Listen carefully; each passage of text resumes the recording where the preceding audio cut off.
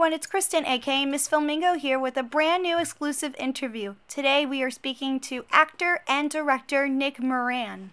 Nick is no stranger to starring in big epic Hollywood films and in smaller independent films.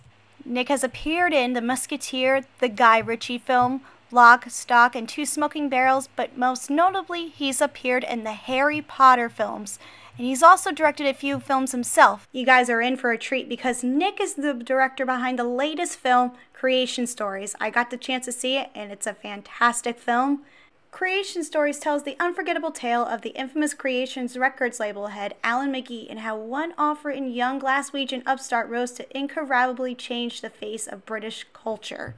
And the film is jam-packed with music, featuring music from Oasis, Primal Scream, Teenage Fanclub, My Bloody Valentine, the Jesus and the Mary Chain, and of course, the one and only the Sex Pistols. And for those who do not know, this film is actually based on the autobiography Creation Stories Riots, Raves, and Running. The film also happens to be executive produced by Danny Boyle, writer Irvine Welsh, and Ewen Bremner of Trainspotting. Bremner stars alongside an A-list cast including Leo Flanagan, Suki Waterhouse, Jason Isaacs, Jason Flemyng, Paul Kaye, and Richard Jacobson.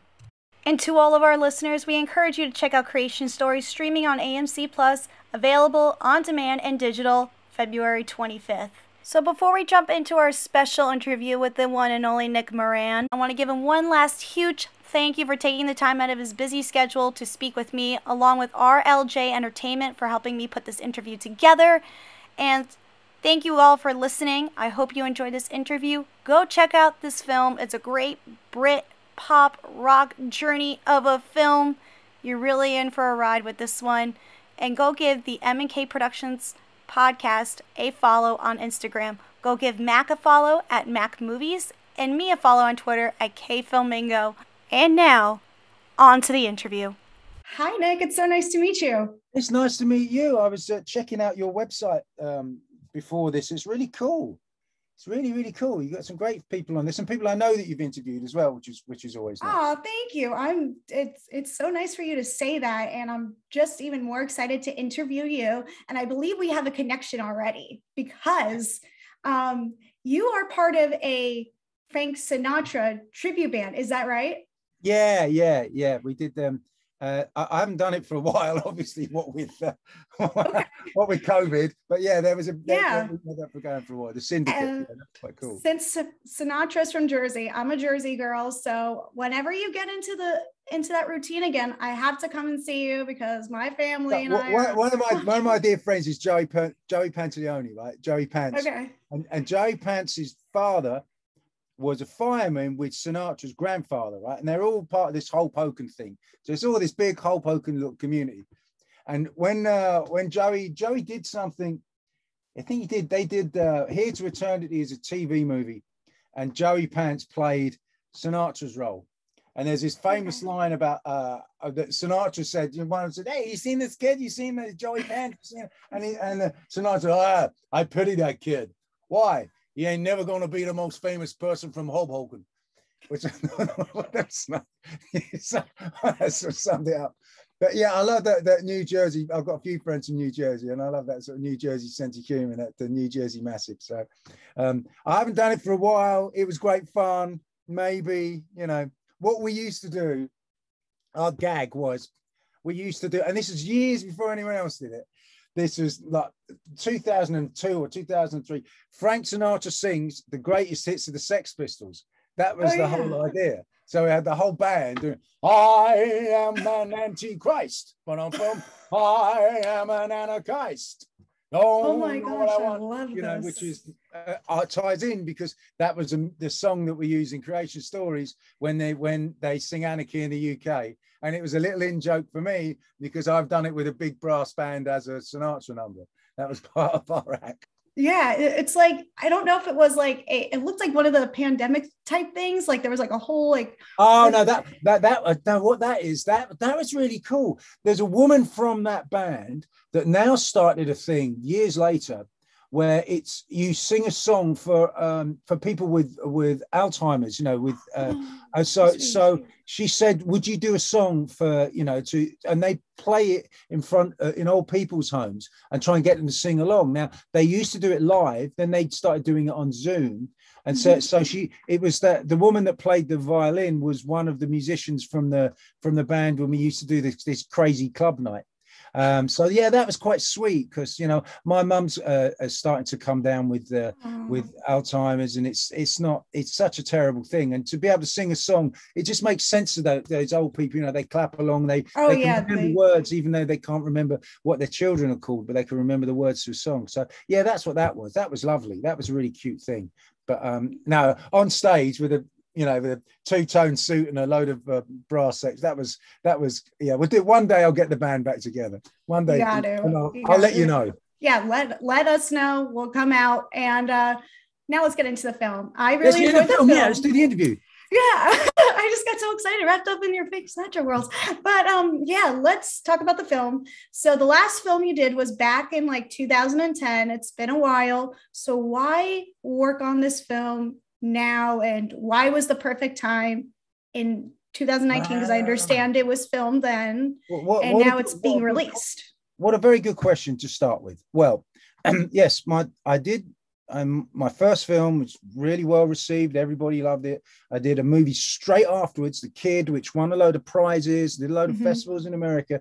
And then there was this big lull because you get into a, a, a, position, and I'm sure other directors would have told you about this, where you've made a couple of films.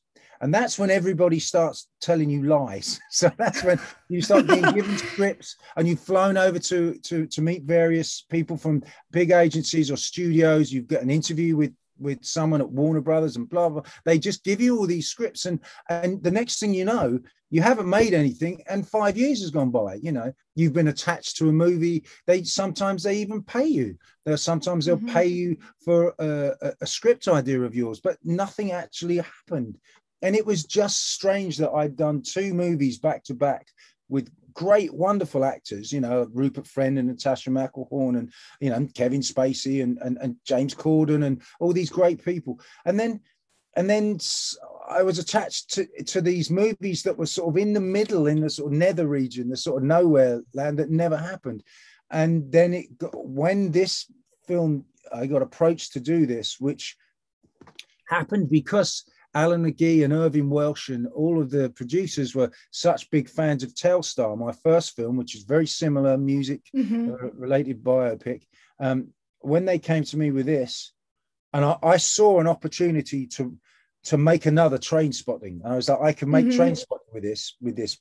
Um, if they give me the freedom and, and if Irvine is, is is which he was up for you know changing some of the aspects of it, then um, I, I needed to make another film because and and I did all I could to help make this come to life. It wasn't there was times where we lost the money, times when when we lost investors or actors, and I just phone everyone up, get everybody I knew to try and you know make this thing a reality because I suddenly realized I'd spent 10, 10 years or nine years sat on my ass you know you don't realize it. When people are telling you you get a script you read it you're mm-hmm. you're planning something to direct that never happens. So this one i didn't want to let go of and i wanted to do all i could to make sure that it absolutely happened. But what a good question. No one's asked that. Well done. Thank you. Thank you. Um i try my best to come up with these questions. Um so uh you go through a lot of bands exploring this film, especially Oasis. And once Wonderwall played, I was like, oh my gosh, this takes me back to like my childhood growing up because I was a 90s kid.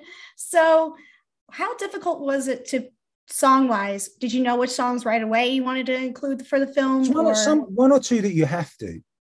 Uh, because you know people want them. But there was all sorts of things uh, that suddenly someone gets involved. I somebody asked me this question earlier, and I was explaining what a horrible jigsaw it can be with songs because someone who isn't in the band anymore might own part of the publishing rights and you can't get clearance for that because they're working in in home base or you know or home depot. And you know they've you know they haven't been in a band for 20 years but they want this money. And things become really complicated over the ownership of some songs. So often there were songs that we wanted to use and, and we couldn't. Um, but then that normally means that you have an opportunity to find something else, find something that's really interesting, find something that's um, a, a, song that that you can allow people to discover. So I think it, what's good about this soundtrack, and and I was very very lucky because I, I had so much input because it is an independent film, mm-hmm. and I'd be sat with the editor and in going, look, try this, and madcap things like Napoleon the Thirteenth, you know, they're coming to take you away, ha ha. They're coming to take you away, hee hee ha ha. Nobody's. It's only me that's heard that song. Do you know what I mean? That's like going back to a million years. So I got to find some really strange, weird tunes and nobody's heard them and throw them in there. And so it was very much like my my party tape, you know. But I, I, I, one of the things I think works really well with the film, if you if you give it a chance, is that it isn't just a load of anthem Britpop songs. There's some really interesting tunes you wouldn't have heard before. If you da- if you don't know the Sex Pistols, if you don't know the Damned, you know those two punk classics. I was so pleased that we had those. If you don't know um, uh, Ride or, or, or even the BMX Bandits, you know the um, uh, Get Some Serious Drugs, you know all of those songs.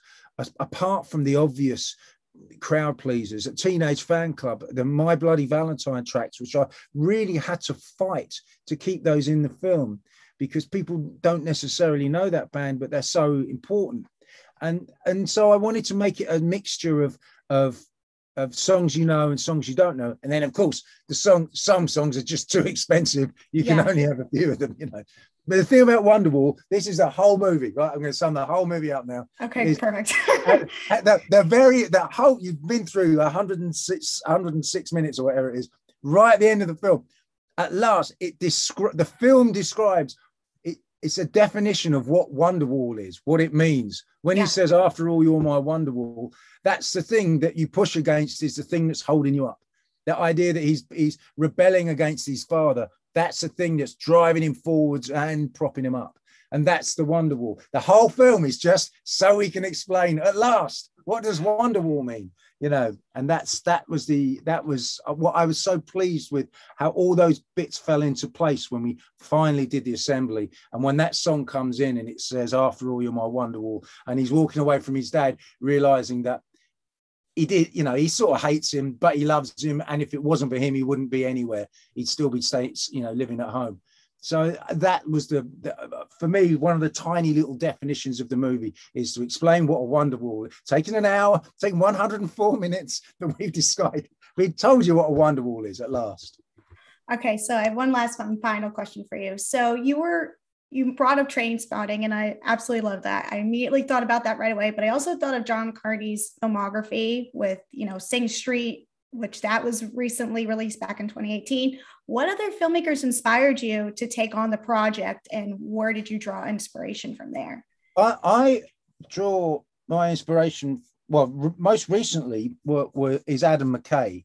Um, mm-hmm. I made everybody watch uh, Vice because oh, I wanted brilliant. that sort of crazy. Vice is, I think, that creation stories. Uh, Vice is creation stories set in politics you know that that way that you take a character and you and you explain who he is and then you explain all the craziness around him and it's from his perspective and the way that that real life people can sort of morph into caricatures and the, the, the way that very strange things can suddenly happen in, in Vice was a was a inspiration as, as a as a rock and roll version of, of Vice is what and I think he, he did it as well with with the long short. He did it. Adam McKay's done it again with the Don't Look Up. Oh, so yeah. you, are taking this sort of um, this surreal and macabre and, and and put that in what is a conventional uh, biopic. So my inspirations, contemporary ones, were the Adam McKay stuff. Shamelessly, I let mm-hmm. you know I, I did that, and then my grounding, which was you know as the lead in in Guy Ritchie's first film, seeing that's when films seeing that work seeing lock stock and two smoke, smoking barrels come together will always be something that i i um, have with me as a filmmaker. The way that you don't need money you just need a good idea. And and and you don't need you don't need special effects you just need energy and and and humor. And and i try to cram probably too many, but I crammed as many ideas into creation stories as I could. You know, if there was a way, if we needed to put the the camera on the, you know, on the on the end of something ridiculous and get someone to hang out of a window, we did. You know, if if there's any shots that could be done in a strange way, then it, it explored it because we don't have we don't have the facilities to we can't film something normally and make it look spectacular because we don't have any extras we don't have any money and we don't you know it's a, it's a low budget film. But what we can do is film something in a unique way and give it as much uh, interest and uh, and uh, as, and power as if it was done expensively. So that's how you do a biopic about the biggest band in in the world without the money to get the extras, without the money to, to you know. So, and I love the, the thing that Adam McKay does as well, which I, I, I really, really tried to incorporate was the the montage stuff. And I, I, got a little bit of flack from some people that didn't get it, that were saying, yeah, but if that's Liam Gallagher, why are you showing the real Liam Gallagher?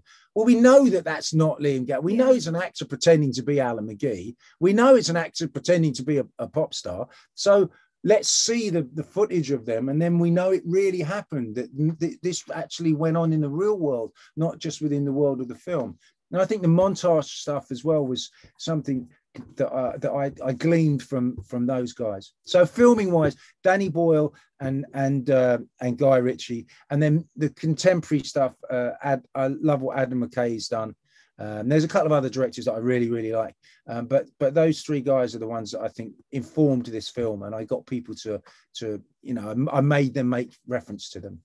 Oh wow, uh, it's a great film overall, great cast, great story, and I learned a lot. I didn't know about creation stories until uh, this came to light. So thank you for sh- giving me uh, oh, you're welcome. insight you. to this thank history. I was lesson. really struggled because it's a sort of it's about the British epoch. You know, it's about the late '90s, and that was a time when I was um, cock of the walk. You know, I was a leading lock, stock, and two smoking barrels, and gate crashing a load of parties and getting a load of free stuff off people, and and and so I was there at that sort of cool Britannia uh, epoch and I just wanted to try and recreate that. And obviously, it's nice to know that you don't have to be from this country to understand that that's what was going on over here. You know, when you were in in uh, wherever, where were you? Were you in um, New Jersey or when you were? I was in Jersey. I've been in Jersey all my life. I haven't left since. okay. Well, while you were on the East Coast, um, uh, you get an idea of what what was going on in London when we had our five minute, minutes of it being the this sort of you know this sort of world cool place. Uh, it isn't anymore, believe me, but it was it was fun at the time, and I tried to recreate that a little bit. And if you if you get that and you're three thousand miles away, then I then I, I'm I'm very pleased. It makes me very happy that you appreciated that. Yes, of course. So thank you so much for your time. I really enjoyed our conversation, and I hope we cross paths again talking about another feature film of yours soon. Yeah, yeah, I got a couple. There's one I've just done that I'm editing, and then there's another one coming up later in the year. But I'll, I'll make a point of staying in touch. And, please do, if you can, put the word out because this film needs to find an audience. You know, and it, it, it's I really, really appreciate that that that that you that you found it. But you know, let other people find it as well. If you can help, I um, I'd love you forever. Oh, oh, you know, we'll be spreading the word out and we'll have this right. episode up and we'll talk about it as much as we can. So thank you so much. It was thank such you. an honor thank to you. speak with you.